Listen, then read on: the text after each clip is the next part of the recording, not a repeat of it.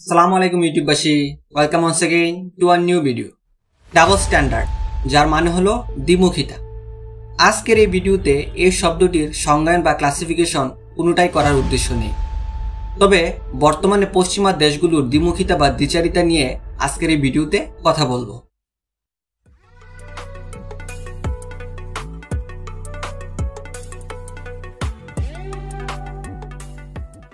Western world বা পশ্চিমা বিশ্ব।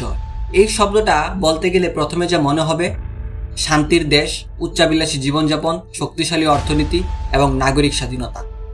তবে সেই শান্তির দেশগুলোর হর্তাকর্তারা বর্তমানে খুব একটা শান্তিতে যে আছে, তা কিন্তু বলা যাবে না।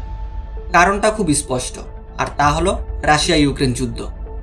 যুদ্ধের শুরু থেকেই পশ্চিমা দেশগুলো ইউক্রেনের পক্ষে সরব ভূমিকা পালন করছে। মিডিয়া থেকে শুরু করে আন্তর্জাতিক সংস্থা। সব জায়গাতে ইউক্রেনের জন্য মায়াকান্না ইউক্রেনের পক্ষে দাঁড়াতে জার্মানি, ফ্রান্স সহ অনেক দেশে চলছে রাশিয়া বিরোধী বিক্ষোভ। পশ্চিমা দেশগুলো রাশিয়ার উপর দিচ্ছে একের পর এক নিষেধাজ্ঞা। মিডিয়ায় চলছে ইউক্রেনকে সাহসী জাতি আর বলদিমির জেলেনিস্কিকে হিরু বানানোর আয়োজন। কেনই বা হবে না? যে রাশিয়া ভেবেছিল মাত্র তিন দিনে ইউক্রেনকে নিজেদের করে নিবে, সেই ইউক্রেনের সুপার পাওয়ার রাশিয়ার বিরুদ্ধে যুদ্ধে এখনও টিকে আছে। তবে পশ্চিমা মিডিয়াগুলো ইউক্রেনকে সাপোর্ট দিতে কোনটা সঠিক আর কোনটা ভুল তার তোয়াক্কা করছে বলে মনে হয়। এই যে, গত কিছুদিন আগেই এক ভাইরাল ভিডিওতে দেখা যায়, সোনালি চুলের এক ছোট্ট মেয়ে অস্ত্রধারী সৈন্যের চোখে চোখ রেখে বলছে, নিজের দেশে ফিরে যা। ভিডিওটিকে ভাইরাল করতে গিয়ে তারা এটাকে ইউক্রেনের ঘটনা বলে প্রচার করছে। যদিও ভিডিওটি নয় বছর আগে ফিলিস্তিনি শিশু আহমদে তামিমির ইসরায়েলি দখলদারের বিরুদ্ধে প্রতিবাদী ভিডিও। ইউক্রেন রাশিয়া যুদ্ধের উল্টো পিঠে পশ্চিমা মিডিয়ায় চলছে এমন একমুখী সংবাদ প্রচার আর নৈতিকতার নামে দ্বিচারিতা। পশ্চিমা দেশগুলো ইউক্রেন ইস্যুতে যদি মানবতার দোহাই দিয়ে এত সরব হয়, তাহলে ফিলিস্তিন ইস্যু নিয়ে ইসরায়েলের বিরুদ্ধে কেন বলতে পারছে না? কেন ইরাক, সিরিয়া, লিবিয়া, ইয়েমেনের মতো দেশগুলোতে সন্ত্রাসবাদের দোহাই দিয়ে চালিয়েছে এত অমানবিক আগ্রাসন? কেন তখন মিডিয়াগুলো এত নিশ্চুপ ছিল? যেখানে ইউক্রেনের শিশু নিজের দেশের পক্ষে হাতে পাথর তুলে নিলে বলা হয় হিরো, আর কেনই বা ফিলিস্তিনের এই ছবিটিকে বলা হয় জঙ্গিবাদ? ইউক্রেনের জনগণ রাশিয়ার বিরুদ্ধে অস্ত্র তুলে নিলে সারা বিশ্ব তখন ইউক্রেনীয় জনগণের সাহসিকতাকে কুর্নিশ করে। তবে কেন ইসরায়েলের আগ্রাসনের বিরুদ্ধে হামাসের লড়াইকে পশ্চিমা বিশ্ব জঙ্গিবাদ আর সন্ত্রাসবাদ বলে পরিচয় করিয়ে দেয়? কিছুদিন আগে আন্তর্জাতিক সংবাদ মাধ্যম সিবিএস নিউজের কে প্রতিনিধি চার্লিডি একাথা বলেন এটি ইরাক বা আফগানিস্তান নয়। ইউক্রেন ইউরোপের একটি সভ্য দেশ। পশ্চিমা মিডিয়ার এমন দ্বিচারিতার বর্ণ বৈষম্য যে নতুন কিছু তা কিন্তু নয়। যে দেশগুলো এই একুশ শতকে এসেও সেই মধ্যযুগীয় সময়কার বর্ণবাদ নিয়ে এখনও একে অপরের সাথে লড়াই করে, তারা কীভাবে নিজেদের সভ্য বলে দাবি করতে পারে, তা খুবই চিন্তার বিষয়।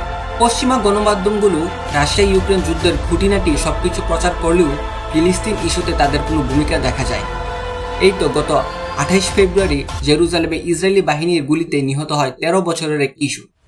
একই দিনে পূর্ব জেরুজালেমে তেরো বছরের বুবা মেয়ে মনোয়ার বুরগানের মুখে সাউন্ড গ্রেনেড ছুড়ে মারে ইসরায়েলি বর্বর বাহিনী।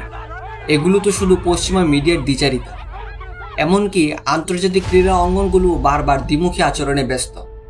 ইউক্রেনে রাশিয়ার আগ্রাসনে বিভিন্ন খেলোয়াড় মাঠে তাদের প্রতিবাদ প্রকাশ করছে।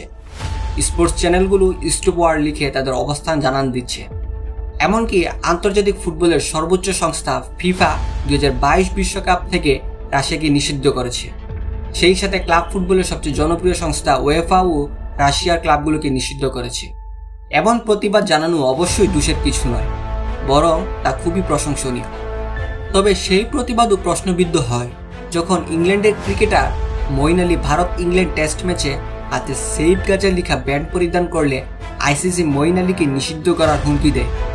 এই তো কিছুদিন আগে তুর্কি ফুটবলার আইকুদ দেমির ম্যাচের আগে অন্য সবার মতো রাশিয়ান আগ্রাসী বিরোধী টি শার্ট গায়ে না জড়ানোই তীব্র সমালোচনার মুখোমুখি হন।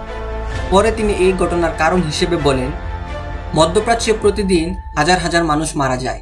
যারা সেখানকার নিপীড়ন উপেক্ষা করে, তারা ইউরোপে এলে এই কাজগুলো করে।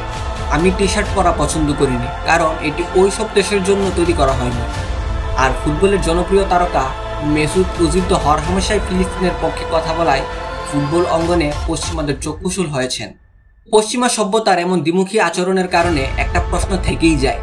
জাতিসংঘ থেকে শুরু করে যেসব আন্তর্জাতিক সংস্থাগুলো মানবতার নামে ফাঁকা বুলি আওড়াচ্ছে, তারা ইউক্রেনের পক্ষে এত সরব হলে ফিলিস্তিন ইস্যুতে ততটাই নীরব কেন?